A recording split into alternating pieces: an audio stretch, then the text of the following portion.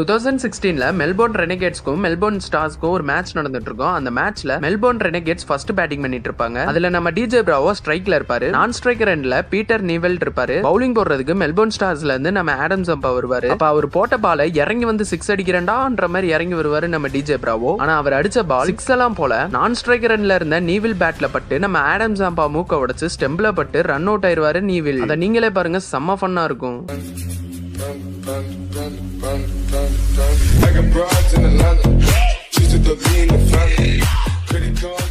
ஐயோ போச்சே உன்னால என்ன பண்ண முடியுமோ அதை பண்ணிட்டேன்